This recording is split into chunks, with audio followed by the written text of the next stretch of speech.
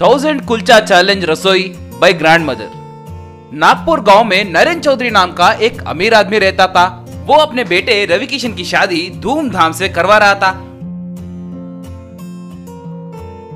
उसके साथ साथ अपने रिश्तेदारों के सामने खुद की महानता बताते हुए नरेंद्र चौधरी शादी देखने आए रिश्तेदारों को, मेरे दोस्तों को और सब शुभ चिंतकों को मेरा नमस्कार। दूर दूर से बहुत मेहनत करके इन्हें आशीर्वाद देने आए लोगों को मैं आभारी हूँ। और इस शुभ अवसर पर मैं एक प्रतियोगिता लगा रहा हूँ। उस प्रतियोगिता में हमारे गाँव वालों के साथ साथ दूसरे गाँव के लोग भी भाग ले सकते हैं। वो प्रतियोगिता ये है कि आप में से कोई भी हज़ार कुलचे अद्भुत तरीके से जल्दी बनाएगा, उन्हें मैं एक लाख रुपए का इनाम दूँगा। वहाँ आए रिश्तेदारों में से थोड़े लोग आगे आए। वही गाँव में रहने वाली हेमा नाम की एक बूढ़ी औरत भी प्रतियोगिता में भाग लेने के लिए आगे आई। उसे देखते ही नरेंद्र चौधरी, क्या बुढ़िया, तुम भी प्रतियोगिता में भाग लोगी क्या? ये कुल्चे खाने की प्रतियोगिता नहीं है, ये कुल्चे बनाने की प्रतियोगिता है। हज़ार कुल्चे बनाने होंगे, तुम बना सकती हो क्या? क्या तुम में उतनी ताकत है? बेटा मैं भी कुलचे बनाने के लिए आई हूँ। खाने के लिए नहीं। अगर मैं खाना चाहूँ तो भी नहीं खा सकती क्योंकि मेरे दांत नहीं है ना। ज़ुबान से ही चबाना पड़ेगा। ज़ोर से हँसते हुए नरेंद्र चौधरी ठीक है ठीक है। क्या हुआ? इस प्रतियोगिता में भाग लेने वाले और कोई नहीं है क्या? इस बुढ़िया से मुकाबला करने कोई नहीं आएगा क्या? तीन औरत उस प्रतियोगिता में भाग लेने के लिए सामने आए। उनमें से सावित्री नाम की स्त्री। क्यूरी, ये बुढ़ी हेमा अगर प्रतियोगिता में है तो हम नहीं जीत सकते। वो कुलचे बनाने में बहुत माहिर है और हर एक प्रतियोगिता में वही जीती है कहकर गाँव वाले बोलते हैं। कुछ न कुछ करके उसे इस प्रतियोगिता में से बाहर निकालना होगा। सिर्फ़ तभी हम तीनों में किसी एक को जीतने का मौका मिलेगा। एक काम करते हैं, वो बुढ़ी चलते समय रास्ते पे तेल डालते हैं। वो उस पर पैर लगाते ही फिसल कर गिर जाएगी और उसकी कमर टूट जाएगी। उस टूटी हुई कमर से वो कुलचे कैसे बना पाएगी, उसे कुछ नहीं होगा और हार जाएगी। के बाद हम तीन ही बचेंगे और हम में से कोई भी जीते, उन पैसों को बराबर बांट लेंगे। क्या कहते हो? बोलते ही बाकी के दोनों सर हिलाकर हाँ बोले। उन्होंने मौका देखकर हेमा चलते वक्त उस रास्ते पर तेल डाल दिया। वहाँ से गुजरते हुए बूढ़ी हेमा उस तेल पर पैर लगाने ही वाली थी कि तभी किसी के पुकारने की आवाज़ सुनाई दी। वो कौन है सोचकर देखी तो संतोष नाम का लड़का, दादी, इस उम्र में आप तकलीफ़ क्यों उठा रहे हैं? आपको ऐसे प्रतियोगिताओं में भाग लेने की ज़रूरत क्या है? क्यों रे पोते? क्या बुढ़े खेल नहीं सकते क्या? या तो हम जीत नहीं सकते? तुम क्यों नहीं जीतोगी? वैसे तुम्हारे हाथों से बनाए हुए कुलचे खाने के लिए भी नसीब रहना चाहिए। ठीक है ठीक है, जाओ, जल्दी बनाओ। तुम्हारे कंपटीशन को मैं यहाँ बैठकर ही देखूँगा, कहकर संतोष बोला। इतने में प्रतियोगिता में भाग लेने वाले वो तीन औरत संतोष के पास आए। भाई संतोष, क्या हुआ? उस बुढ़ी से कुछ कुसुर फुसुर कर रहे हो? कैसे जीतना है? ये नुस्खे बता रहे हो क्या? ऐसा कुछ नहीं मामी। इस उम्र में तुम ऐसी चुनौतियाँ में क्यों भाग ले रहे हो? कहकर पूछ रहा था बस। उतना ही। मगर वो सुनेगी तब ना। उतने में चौधरी। सब तैयार रहिए। मैं काउंटडाउन शुरू करके रेडी गो कहते ही आपको कुलचे बनाना शुरू करना होगा। और कौन सबसे पहले हज़ार कुलचे बनाएगा वही जीतेगा। उन्हें ये एक लाख रुपए का इनाम मिलेगा। कहकर काउंटडाउन शुरू किया। Five four three two one ready go बाकी के तीन जल्दी जल्दी आटे को सानने लगे। कुलचे तैयार करने के लिए बिना रुके सब सामानों को इकट्ठा कर रहे थे। बिना रुके, बिना तके वो कुलचे बनाने के हर काम को फटाफट कर रहे थे। मगर दूसरी तरफ़ बूढ़ी हेमा धीरे धीरे से बिना कोई हड़बड़ी के आराम से अपना काम कर रही थी। वो देखकर सावित्री तब, ये क्या? हम तीनों इतने परेशान हो रहे हैं, मगर वो बुढ़ी तो धीरे धीरे काम कर रही है। फिर भी इसके बारे में गाँव वाले इतनी तारीफ़ क्यों करते हैं? उसे जाने दो। पहले तुम अपना मुँह बंद करके हमें डिस्टर्ब करे बिना काम करो। वो तीनों 500 कुलचे बनाते बनाते थक चुके थे और उनके हाथ भी गिर गए। और हम माँ हम, हम नहीं कर सकते। हमारे हाथ दुख रहे हैं। कहकर आराम करने लगे। मगर हेमा ने जल्दी जल्दी सबसे पहले हज़ार कुलचे तैयार करके बगल में रख दिए। वो देखकर सावित्री ये क्या? 500 कुलचे बनाते बनाते हमारे हाथ गिर गए, हम तक गए, मगर वो बुढ़ी को इतनी शक्ति कहाँ से आई? के कर, दंग रह गए।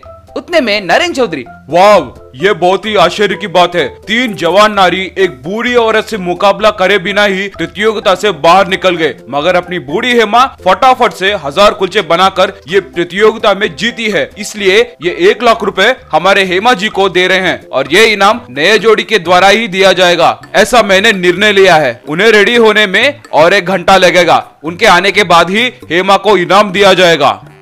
श्रीमान, वो बहुमान अगर जल्दी दे दे तो मैं घर जाऊँगी। क्या हुआ बुढ़िया? तुम्हें इतनी जल्दी क्या है? थोड़ी देर रुक नहीं सकती क्या? वैसे ये एक लाख लेकर क्या खरीदोगे? सोना लोगी क्या? आपको पता है ना, श्रीमान, मेरे तीन बेटे हैं। उन्हें मैंने बहुत मेहनत करके पढ़ाकर प्रयोजक किया है, मगर वो तीनों हमें छोड़कर चले गए। इस उम्र में हमें खाना खिलाने वाला भी नहीं है, और हमें किसी के आगे हाथ फैलाने की आदत नहीं है। मेरे पति को काए हुए तीन दिन हुए हैं। अगर आप जल्दी पैसे देंगे तो मैं कुछ खरीद कर मेरे पति को खिलाऊँगी। बोलते ही वहाँ रहने वाले सबके आँखें भर आए। अरे रे, हमें माफ़ कीजिए दादी। ज़्यादातर बाहर नहीं आने वाली बूढ़ी हेमा आज के दिन इस प्रतियोगिता में भाग ले रही है तो तभी मुझे समझ जाना चाहिए था। पड़ोस में रहकर भी पड़ोसियों की बाधाओं को नहीं देख पा रहे हैं। ऐसे परिस्थिति में जी रहे हैं हम। इसके लिए मैं बहुत शर्मिंदा हूँ। मुझे माफ़ कीजिए दादी। कहकर, सॉरी बोलकर। पहले खाना लेकर हेमा के पति के पास जाकर वो खुद उन्हें खिलाया।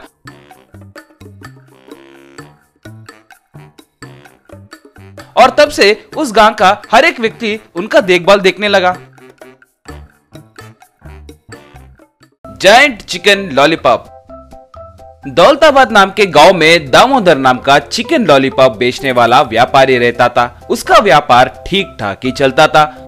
उसकी पत्नी दमयंती उससे, ओ जी, और कितने दिन हम यू चिकन लॉलीपॉप के भरोसे ही जिएँगे? हमारा व्यापार नुकसान में चल रहा है, और कोई दूसरा व्यापार करे क्या जी? मुझे सिर्फ़ पकाना ही आता है। अब एक नया काम सीखना मेरे से नहीं होगा। ऐसा है तो लॉलीपॉप को और थोड़ा अनोखे तरीके से बनाएँगे जी। मुझे समझ में आए ऐसा कहो ना। ओ जी हम एक जैन चिकन लॉलीपॉप को तैयार करेंगे। तब सारे गाँव के लोग उसे देखने भागते हुए आएँगे और अपने सेल्स भी बढ़ेंगे ना जी।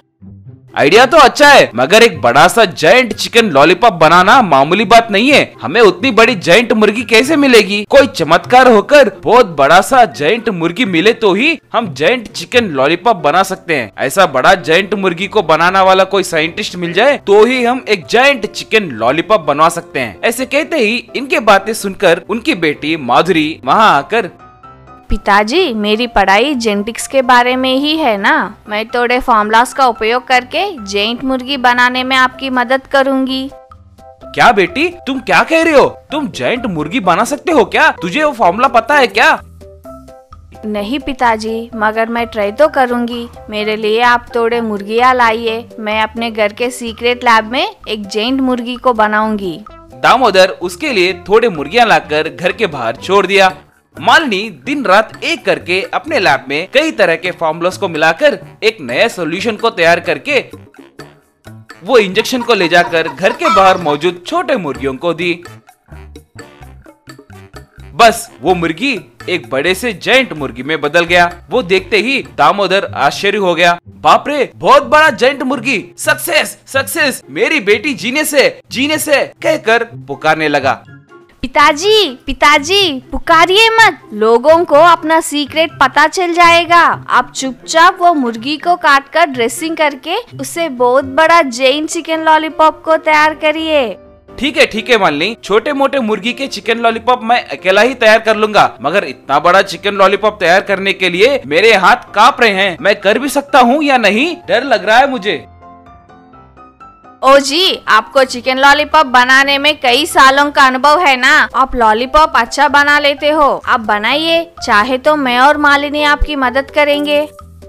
बसे बसे, अगर आप दोनों मुझे सपोर्ट करेंगे तो मैं कोई भी काम यूँ ही कर दूँगा। पहले उतने बड़े चिकन लॉलीपॉप को बनाने में बहुत ज़्यादा मसाले की ज़रूरत है। आप पहले वो मसाले को बनाने के सामान को खरीदिए।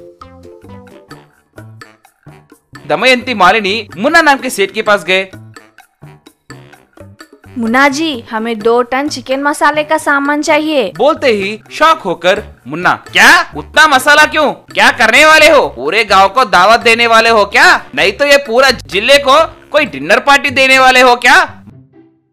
ऐसा कुछ नहीं है मुन्ना जी मेरे पिताजी एक बड़ा सा चिकन लॉलीपॉप बनाकर रिकॉर्ड बनाने की कोशिश कर रहे हैं।